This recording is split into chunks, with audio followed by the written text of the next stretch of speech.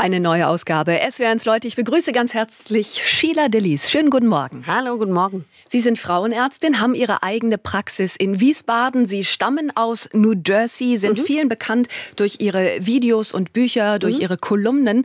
Jetzt heißt es doch immer, der Ami sei prüde. Sie gelten als Jamie Oliver der Frauenmedizin, weil Sie alles so tabulos angehen. Wie steht es um den prüden Amerikaner? Ähm, es ist äh, das ist tatsächlich gespalten. Man muss unterscheiden zwischen Prüderie, das bedeutet, ich darf keine Brüste im Fernsehen zeigen, und informiert sein. Also die, die Amerikanerin an für sich ist hoch informiert über die Anatomie und über ihren Zyklus. Also das erste Buch, was ich geschrieben habe, Unverschämt, alles über den fabelhaften weiblichen Körper, da könnte ich im Prinzip für den amerikanischen Markt, könnte ich äh, die Hälfte davon schon rausnehmen und das für den Grundschulunterricht so ungefähr nehmen lassen. Weil die es tatsächlich schon wissen. Richtig, ja, ja, richtig. Das ist bei denen einfach, das ist gar kein Problem. Die kennen alles mit den lateinischen Namen und so weiter. Aber ja, im Fernsehen darf man keine Nippel zeigen. Das ist so. und offensichtlich hängen wir dann mit der Informiertheit hinterher. Lässt sich das so sagen? Richtig. Also hier ist es ähm, eigentlich fast umgekehrt. Man, man geht mit dem Sexuellen hier sehr offen um, oder sagen wir mal, mit dem, der weibliche Körper an für sich wird eher gezeigt. Aber die Basics, das ist, ähm, das gehört jemand anderem. Da ist jemand anderes für zuständig, da ist jemand anderes für verantwortlich. Äh, das ist alles, äh, das ist das, was mir auch als erstes in Deutschland aufgefallen ist, das ist alles der mysteriöse Unterleib. Alles südlich des Bauchnabels ist der Unterleib. Und was da jetzt wo ist und wofür das, die ganzen Organe da sind, wissen die meisten nicht. Ändert sich das denn an den Einstellungen von den Frauen, die zu Ihnen in die Praxis kommen? Merken Sie das?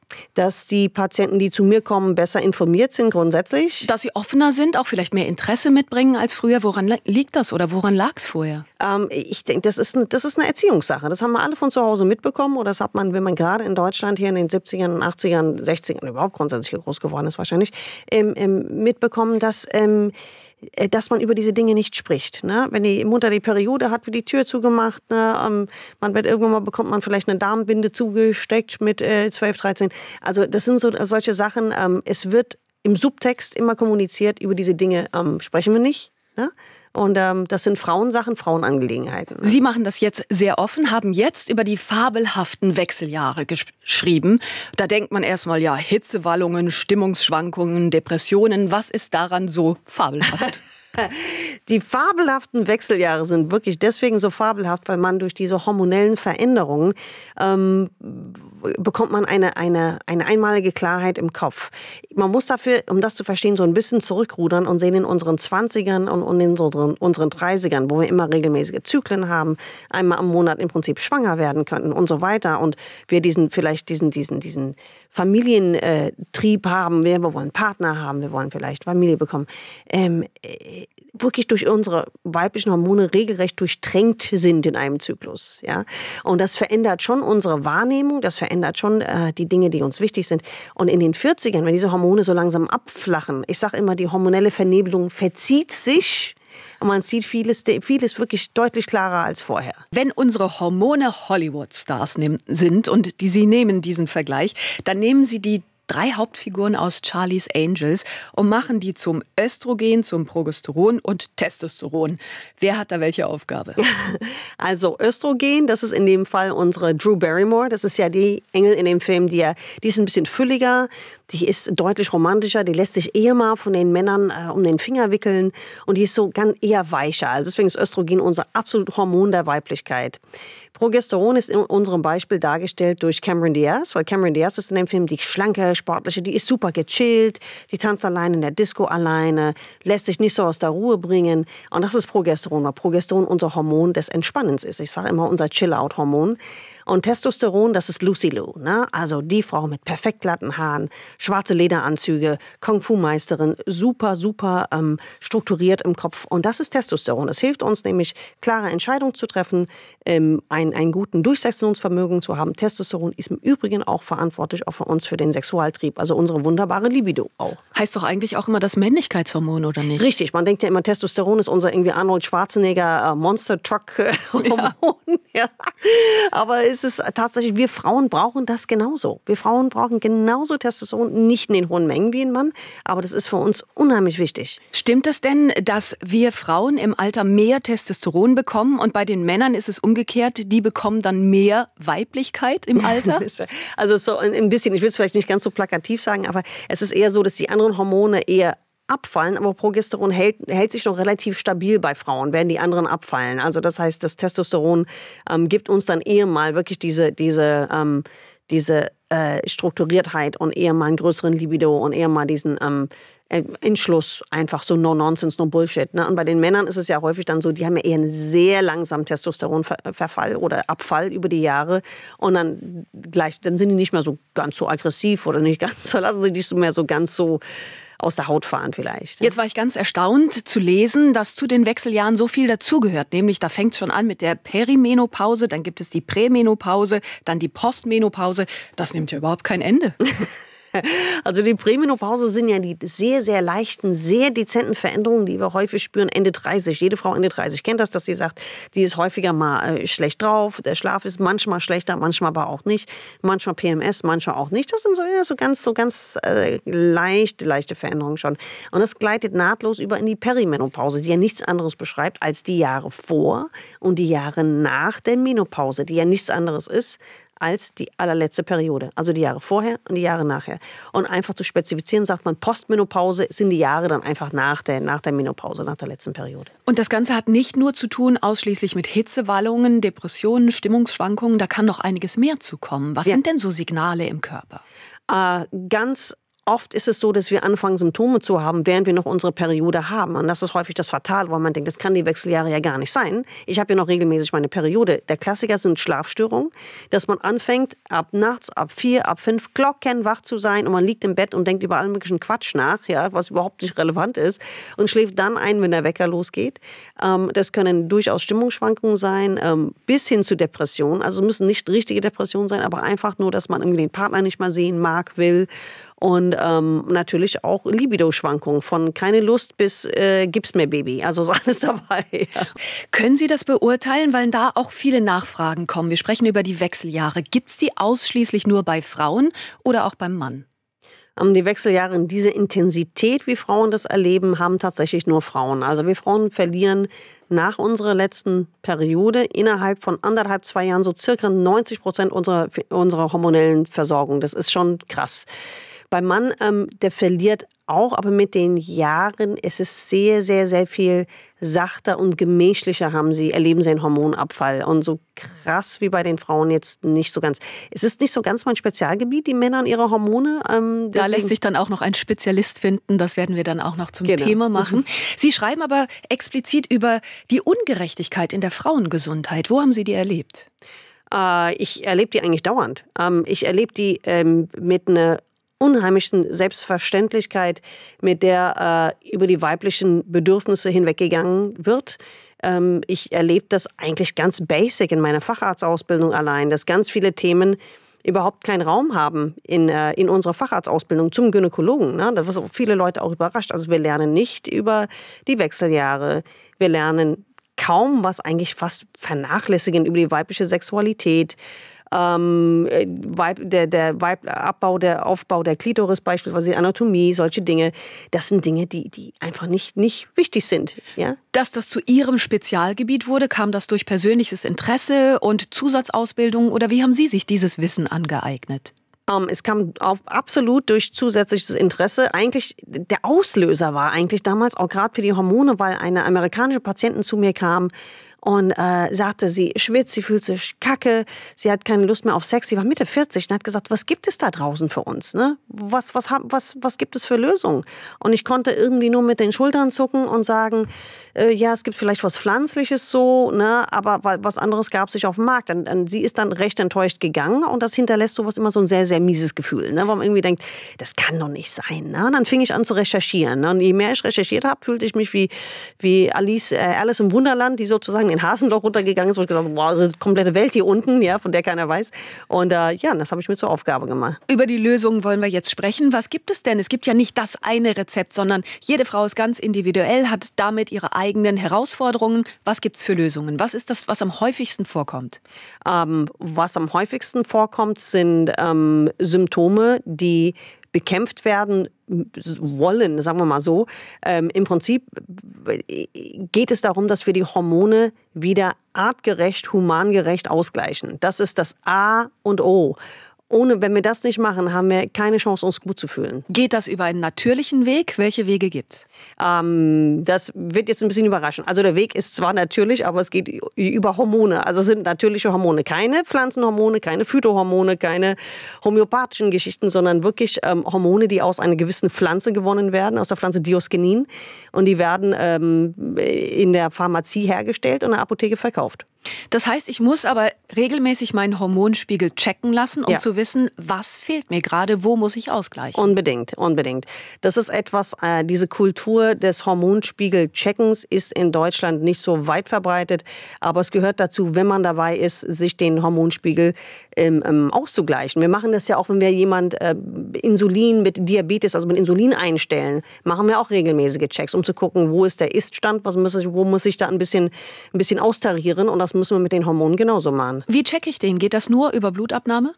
Ähm, es geht über Blut, es geht auch über Speichel. Diese zwei, es gibt Leute, die sagen, oh, Speichel ist besser, es gibt andere Leute, die sagen, Blut ist besser. Ich glaube, jeder Weg ist, äh, hat, hat seine Vor- und Nachteile und ich glaube nicht, dass sie sich so, so auseinander entscheiden, also so wie es ähm, jeder Arzt für richtig hält. Es würde aber nicht funktionieren, wenn jemand sagt, ach, ich kenne meinen Körper so gut und weiß ungefähr, welches Hormon mir gerade fehlt. Gibt es das auch? Ähm, das ähm, gibt es tatsächlich ähm, auch, wenn man, äh, wenn man routiniert ist. Also wenn man routiniert ist in der hormonellen Einstellung mit sich selber, dann weiß man irgendwann mal, okay, ich schwitze jetzt ein bisschen mehr, mir fehlt wieder ein bisschen Östrogen oder ich bin ein bisschen mehr genervt.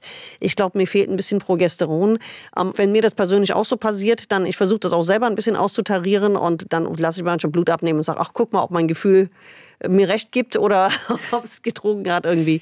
Wie können wir ähm, uns das vorstellen? Sie haben drei Gläschen zu Hause stehen und geben dann immer ein paar Tropfen dann davon rein, was Ihnen gerade fehlt. Wie sieht das ähm, aus? Ja, so ein bisschen. Also das Gläschen nicht so ganz. Also es gibt ähm, Hormone in ganz vielen transdermaler Form. Das heißt, das schmiere ich mir auf die Haut. Und nur das Progesteron, das gibt es als Kapsel, das muss man schlucken. Das ist, das ist so. Es werden es Leute heute Vormittag mit Sheila Delis. Viele Nachfragen von den SW1-Hörerinnen und Hörern erreichen uns. Tina Lembeck zum Beispiel sagt, ich habe gerade verstanden, Hormone ausgleichen. Ist es überhaupt gut, etwas auszugleichen? wenn es natürlich nicht mehr vorgesehen ist? Ja, ich liebe ja diese Frage. Ähm, ich sage immer, die Natur ist ja nicht immer nett. Ne? Also Covid-19 ist ja auch Natur und ähm, ähm, Tumore im Kindesalter sind auch Natur. Und wir haben ja, ähm, wenn man von der Natur aus vorgesehen, sollten wir ja eigentlich mit, mit 60 schon tot sein. Ne? Und wir ähm, bringen uns trotzdem alle nicht mit 60 um, weil es die Natur so will, sondern wir arbeiten ja sonst auch aktiv dagegen. Wir stehen an einem un, wirklich einen einzigartigen Punkt in unserer menschlichen Entwicklung, dass wir Frauen, also dass wir generell, aber dass wir Frauen ähm, mit 50 so viel gesünder und fitter sind, als unsere Mütter und unsere Großmütter waren. Ja? Und dennoch bezieht sich die Frage vielleicht auch darauf, man hört ja so vieles über Hormone, die können teilweise Krebs auslösen, mhm. die sind nicht ganz ungefährlich. Mhm. Also insofern ist die Frage ja durchaus berechtigt. Wie also umgehen mit den Hormonen, die man zugibt? Also Hormone lösen generell keinen Krebs aus. Das ist ein absolute, ähm, das ist ein, das ist ein Irrglaube, muss man ehrlich sagen. Ähm, wenn jemand Brustkrebs hat, was auf Hormone empfindlich reagiert, dann wird es eher zum Wachstum angeregt. Aber in einer vollkommen gesunden Brust kommt kein Krebs, nur weil jemand Hormone in sich hat, weil er zum Beispiel die Periode hat oder Hormone natürliche nimmt. Ähm, Betonung mal wieder auf natürliche. Ne? Also ich spreche immer von den bioidentischen Hormonen. Das bedeutet, ein Hormonpräparat, wo die Molekularstruktur identisch ist zu dem, was der Eierstock produziert hat. Und das ist der, genau der Unterschied. Und dann, da liegt die Lösung. Sind alle Ärzte und Ärztinnen darauf geschult? Wissen die das? Denn es gibt ja häufig auch, das schreiben uns einige Hörerinnen, auch Unverständnis seitens der Frauenärzte. Das ist ein Riesenproblem tatsächlich. Ähm, viele Frauenärzte ähm, viele meiner Kollegen interessieren sich jetzt nicht so sehr für das Thema und ähm, möchten sich auch, und da muss ich auch meine Kollegen auch ein bisschen in Schutz nehmen, diese Diskussion einfach vom Hals halten. Ne? Sie müssen gegen ähm, Irrglauben andiskutieren, sie müssen gegen den Beipackzettel diskutieren, sie müssen gegen Internet diskutieren und viele haben einfach vor diese ganze Diskutiererei äh, bei ihren vollen Praxen einfach kapituliert und sagen einfach, nehmen Sie keine Hormone, das brauchen Sie nicht. Ne? Ist aber ähm, generell falsch, weil die Frauen leiden dadurch. Ne? Und wir wollten noch das Thema ansprechen, dass jedes Jahr hunderte Hunderttausende Frauen unvorbereitet in die Perimenopause Ja, gehen. ja. Was hat es damit auf sich? Ja, das hat damit auf sich, dass wir alle weltweit, wir müssen unsere Mädels aufklären, wenn sie in die Pubertät kommen. Das wissen wir alle, ja. Aber dass diese zweite hormonelle äh, Umstellung nimmt uns niemand beiseite. Nimmt uns niemand beiseite und sagt, pass mal auf, Mädchen, das und das kommt auf dich zu, ja. Seien da und darauf vorbereitet, achte bitte da und da drauf. Das und das kann passieren. Stattdessen ist ein Mantel des Schweigens wird über alles gelegt. Ne? Und das ist grauenhaft. Sie beschreiben da ein Beispiel von der US-Moderatorin Oprah Winfrey, Ja. die plötzlich Herzrhythmusstörungen hat. Was passiert dann? Ja, das ist, das ist total typisch. Oprah hat Herzrhythmusstörungen, ähm, hat regelmäßig die Periode. Keiner weiß, was es ist. Die ganzen Kardiologen von USA rätseln. Keiner weiß, was es ist. Keiner weiß, warum sie es hat. Und dann sagt ihr Fitnesstrainer, vielleicht sind sie Wechseljahre. Und sie sagt, das kann nicht sein. Ich habe regelmäßig meine Periode. Und dann hat sie aber angefangen, sich damit mit dem Thema zu befassen, hat eine Spezialistin gefunden, hat ihre Hormone eingestellt und nach einer Woche waren die Beschwerden weg. Und das zeigt uns wirklich, du kannst Oprah Winfrey sein, du kannst Geld haben und trotzdem hat keiner auf dem Schirm, hey, die Wechseljahre können ein Sammelsurium an Beschwerden auslösen, die nicht nur gynäkologisch sind, sondern den ganzen Körper betreffen. Sheila Delis ist zu Gast in SWRs Leute. Wir sprechen über die Wechseljahre, die als Tabuthema gelten und alles rund um Frauengesundheit. Und da meldet sich Doris Christiane Schmidt und die sagt, Mensch, leider wird das Klischee in der Sendung bedient. Männer können immer und Frauen haben durch Menopause keine Lust. In Wirklichkeit lassen viele Männer schon ab 40 durch Testosteronverlust, Übergewicht, sexuell nach und Frauen macht Sex dann oft keinen Spaß mehr. Nur wird darüber nie gesprochen. Sheila Delis, wie ist es? Ja, das ist, ähm, finde ich super, dass das angesprochen wird, weil also es tatsächlich ein Problem ist. Also bei vielen Männern ist es wirklich ab 40 so, dass sie ähm, langsam anfangen, gesundheitliche Probleme zu bekommen. Die, die Erektionsqualität ist häufig einfach nicht mehr die, die sie war mit 20. Ähm, die, die Häufigkeit des Sex ist nicht mehr so sehr und äh, Männer sind häufig dann einfach erschöpft. Ähm, und darüber redet wirklich keiner. Und Frauen haben vielleicht wirklich keine Lust auf Sex mit ihrem Mann, aber vielleicht dann doch irgendwie eher Lust auf Sex, vielleicht generell schon, aber vielleicht nicht mit dem Partner, den sie die ganze Zeit hatten. Ne? Das ist ja. Ähm, das Und ist, kommen die Sextoys ins Spiel oder welche Richtig. Lösung gibt's da? ja, da gibt's alles Mögliche, ne, was man sich vorstellen kann. Also, es ist Sextoys, ähm, es gibt die Möglichkeit des Hausfreunds, was in früheren Jahrhunderten wohl irgendwie gang und gäbe war. Und in früheren Zeiten, dass man gesagt hat, äh, die Frau hat irgendwie einen kleinen, keine Ahnung, Tennislehrer, sonst irgendwas. Ähm, diese Dinge existieren nach wie vor. Auch Spielt der Mann aber nicht so gerne mit dann. Äh, nee, das denke ich mir. Also ich sehe das aber in der Praxis durchaus häufig, dass gerade ältere Frauen sich, ähm, also nicht unbedingt jetzt Ehebruch begehen, aber äh, dann schon jüngere Liebhaber haben, so mit Mitte 30, Ende 30, sowas sind die. Und die selber sind so Mitte 50, gibt's oft das Modell. Was könnten die Männer tun? Ernährungsumstellung ist ja in den Wechseljahren bei den Frauen ja auch gleichermaßen häufig eine Empfehlung. Ich denke mal, dass ähm, äh, erstmal den Mut darüber haben, das, ähm, das anzuerkennen und deswegen zum Arzt zu gehen, einen Arzt aufzusuchen. Ne? Es gibt ja für Männer ja auch Möglichkeiten. Es gibt aber für Männer tatsächlich nicht so ein Lobby. Also ich meine, welcher Mann mit 42 will zugeben, dass seine Erektion nicht mehr das war, was sie war mit Mitte 20? Ne? Das ist schon, ähm, die haben häufig nicht so, die wissen gar nicht, wo sie hingehen sollen. Und ich glaube, es ist wichtig, vielleicht in diesem Zusammenhang den Männern auch wirklich Mut zu machen, zu sagen, hey, man kann was tun, ähm, am hol dir Hefe, es tut nicht weh, geh einmal zum Arzt und lass dir einfach mal ein paar Tipps geben. Ja, ist ja nicht schlimm. Ja? Das Thema wird, glaube ich, auch mehr und mehr offen behandelt. Es gibt jetzt zum Beispiel im November sogar einen Online-Wechseljahreskongress und da werden dann Männer und Frauen gleichermaßen eingeladen. Also vielleicht können auch solche Dinge und solche Angebote Möglichkeiten sein. Weiter zu den Fragen, die uns erreichen aus Waldkirch von Raffaela und sagt sie, schreibt, es wäre vielleicht wichtig zu erwähnen, dass Hormontests nicht von der Krankenkasse bezahlt werden. Kostet zwischen 120 und 180 Euro. Auch die Hormonmedikamente werden nicht bezahlt. Ist es richtig? Ähm, es ist nicht ganz richtig. Also die Hormontests werden zum Teil beim Hausarzt bezahlt. Ob sie jetzt in dieser Häufigkeit, wie man sie benötigt, um eine hormonelle Einstellung korrekt zu machen, nämlich so alle sechs bis acht Wochen erstmal am Anfang, ähm, das könnte ein bisschen schwierig werden, dass der Arzt äh, Probleme bekommt mit seiner kassenärztlichen Vereinigung, dass es dann heißt, ähm, warum machst du so viel Blutentnahmen? Das, das kann schon sein. Also dass, es, äh, dass die Frauen auf den Kosten der Blutentnahmen sitzen bleiben können, das kann sein dass die Medikamente oder dass die Hormone nicht bezahlt werden, ist falsch. Also die werden alle von den Krankenkassen bezahlt. Das müssen aber die richtigen Sachen sein. Also es gibt ja die ähm, ein bisschen diese Vorstellung, dass es ähm, diese es gibt bioidentische Hormone über alternative Quellen. Es gibt sie aber auch stinknormal aus jeder Apotheke an der Ecke und die können ganz normal auf rotem Kassenrezept verordnet werden. Das ist kein Problem. Was passiert, wenn man einen Tampon im Körper vergisst? Ähm, Meistens passiert nicht so viel, wie man, äh, wie man primär mal befürchten könnte. Äh, es fängt dann irgendwo mal an zu riechen und komischen Ausfluss zu machen. Das ist erstmal eigentlich der häufigste Fall, ja, dass ähm, Patientin zum Frauenarzt kommt und sagt, ich habe so komischen riechenden Ausfluss und die letzte Periode war vier Wochen her so ungefähr und äh, dann ähm, als Gynäkologe stellt man fest, oh, da ist ein Tampon in der Vagina. Ne? Es ist dann meistens den Frauen total peinlich, weil man sich fragt, wie kann man das vergessen. Also normalerweise passiert da nichts Schlimmes. Dennoch gibt es extremst seltene Fälle. Das ist wirklich extremst selten und das kommt wirklich super selten vor. Ich sage, äh, äh, die, die Wahrscheinlichkeit, dass man äh, was, dass was ganz Schlimmes passiert, ähm, das nennt sich Toxic Shock Syndrom. Da kriegt man eine allgemeine, verallgemeinerte Vergiftung, das auch tödlich ausgehen kann. Ähm, ist sehr selten. Es ist so wahrscheinlich, wie wenn Sie in einen Linienbus einsteigen und neben Ihnen sitzt Dieter Bohlen. Also es könnte passieren, aber es ist extrem selten. Beides das, will man nicht. Ja, deswegen. Also wenn man einen Tampon über Nacht oder irgendwie zwei Tage drin vergisst, muss man nicht, ähm, wenn man bis dahin nicht krank ist, wird man auch nicht krank. Das ist eine der Fragen, die Sie auf Ihrem YouTube-Kanal oder in den Kolumnen beantworten. Sind das Fragen, die Sie sich immer ausdenken oder stellen die Ihre Patientin und Sie sagen dann, ach, könnte ich ja mal eine Kolumne rausmachen? Das sind, nee, das sind reelle Fragen. Das sind reelle Probleme, reelle Fragen, die immer wieder und immer immer wieder und immer wieder vorkommen. Und das war für mich auch primär mal der Grund, auch ähm, auch an die Öffentlichkeit, in die Medien zu gehen, weil ich gesagt habe, das kann nicht sein, dass es so viele Basic-Dinge äh, gibt, die total einfach zu erlernen sind, die jeder erlernen kann. Ähm, man muss und braucht nur jemanden, der es ihnen einfach mal einfach erklärt. Ja. Können Sie vielleicht auch Marianne helfen? Die hat geschrieben, ich habe eine Frage an die Gynäkologin. Ist ein bestimmtes Hormon dafür verantwortlich, wenn meine Genitalschleimhäute quasi zusammenwachsen, verkleben? Könnte ich das mit Einnahme eines einzigen Hormons rückgängig machen? Ähm, ich weiß, wovon sie spricht. Das, ähm, das ist ein Zustand, der sich einstellt bei sehr lang bestehendem Hormonmangel und zwar mit dem Östrogen. Ähm, man muss ganz frühzeitig anfangen, mit einer östrogenhaltigen Salbe die Vagina zu behandeln.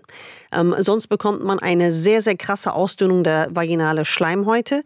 Das nennt sich vaginale Atrophie. Und dieser Zustand befällt tatsächlich, sage und schreibe, fast 60 bis 70 Prozent aller Frauen. Das klingt ja gruselig. Ja, das ist eigentlich eine Volkskrankheit, worüber keiner spricht. Ne? Und manche haben das ähm, nicht ganz so schlimm, und manche haben es extrem. Und das, wie die Dame es beschreibt, hat es sogar derart extrem, dass der Körper da schon dagegen ankämpft und deswegen versucht, alles zu verschließen. Was kann sie jetzt als erstes tun? Sie sollte als allererstes ähm, zu einer ähm, entweder Dermatologin gehen oder Gynäkologin gehen, die sich damit auskennt, aber sie braucht eine Hormonsalbe am besten gestern.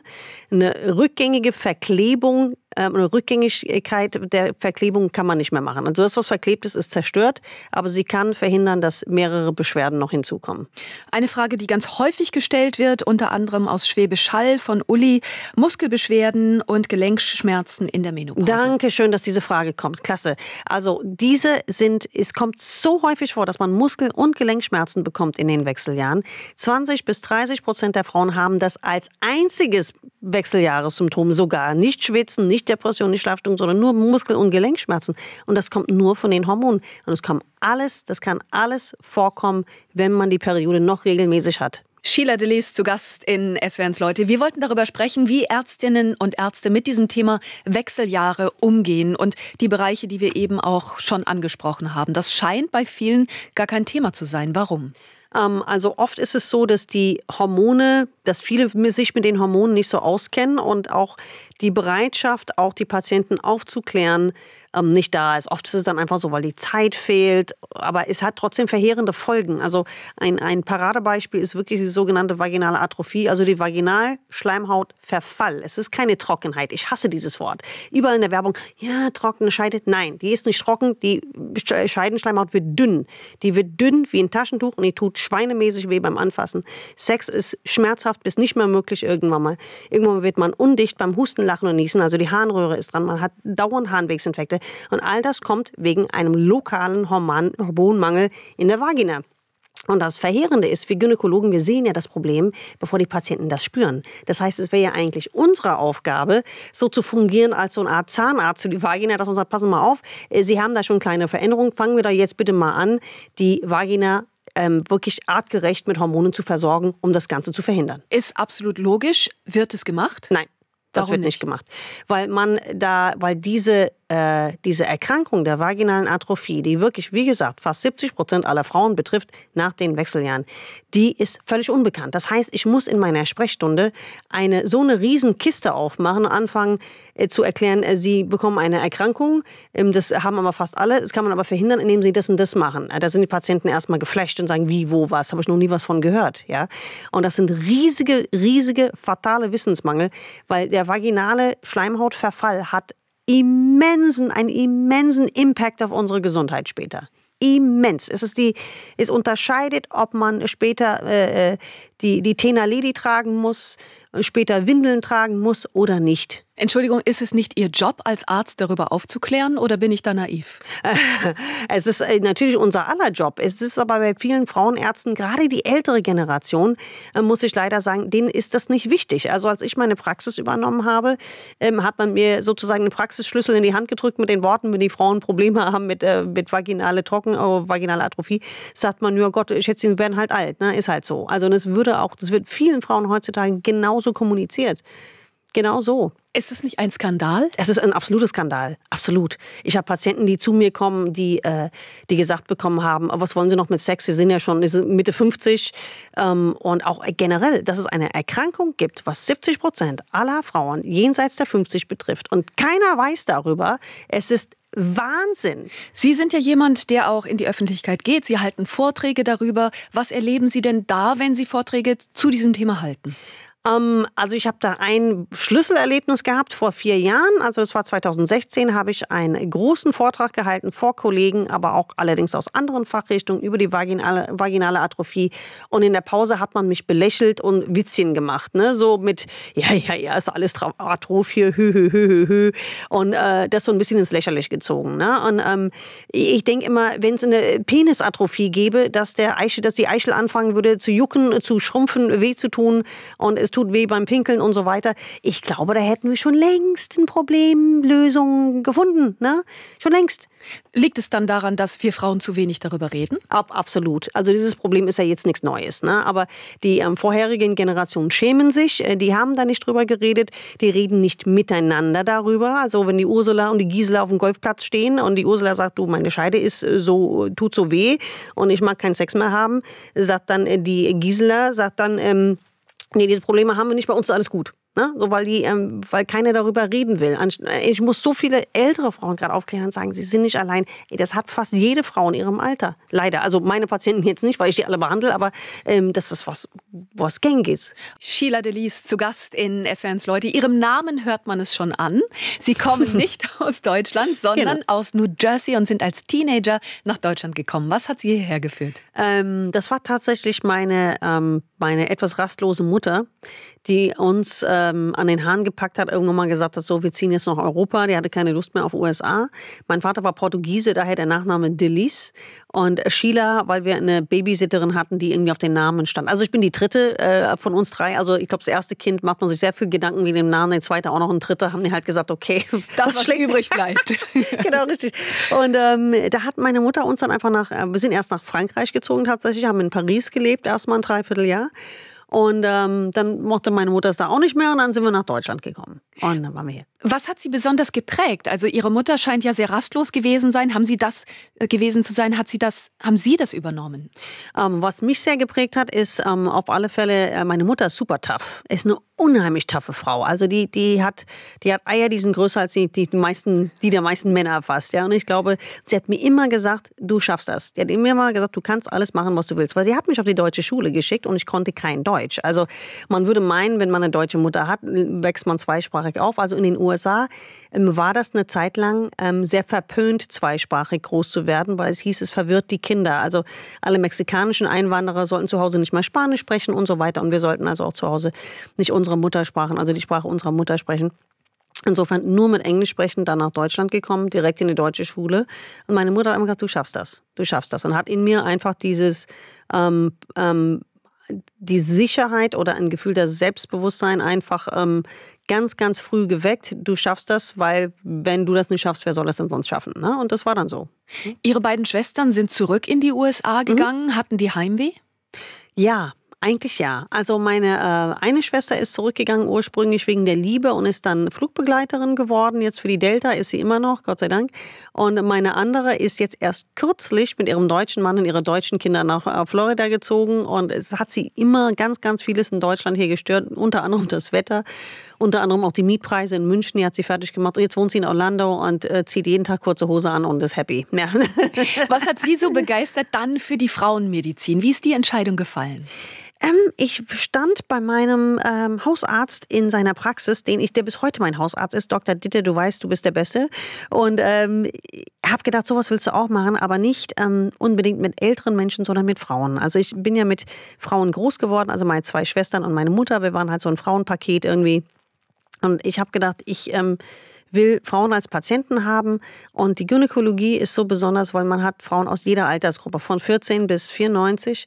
Man hat nicht nur Kranke dabei, sondern auch ähm, die Geburten, das, die Schwangerschaften. Das ist halt, das ist toll. Ja? Und du kannst im Prinzip jemanden begleiten vom 15. Lebensjahr äh, bis bis spät, ja. Also das ist schon toll. Sie stehen für tabulose Aufklärung. Sie mhm. sind sicherlich auch für viele Frauen ein Vorbild. Was möchten Sie jungen Frauen mitgeben?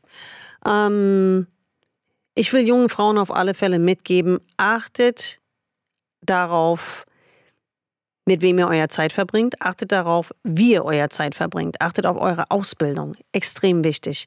Ähm, achtet darauf, einen Beruf zu erlernen, was du nachher unabhängig von einem Mann ausführen kannst, weil das vielleicht so kommen wird. Das finde ich extrem wichtig. Ich finde es wichtig, den Frauen auch ähm, äh, oder den Mädels auch wirklich zu stärken und zu sagen, lass dir nicht von jemandem schlechte Gefühle machen wegen deinem Körper, wegen deiner Sexualität, egal was. Lass es nicht zu. Und Sie sind Mutter von zwei Kindern, mhm. Junge und Mädel, mhm. und das Mädel gerade in der Pubertät. Ja. Und was sagt die zu all den Vorsätzen, die Sie gerade genannt haben? Die, die, meine, meine Tochter lebt das, ohne dass ich ihr das jemals sagen musste. Die ist selbstbewusst, die ist. Äh, die ist, ähm, die ist klasse. Die ist wirklich, also ich wäre gern so als Teenie gewesen, ne, muss ich echt sagen. Die, ähm, die macht das richtig super, muss Dann ich echt sagen. Herzlichen Dank für den Besuch in SWNs Leute. Sheila Vielen Dank auch.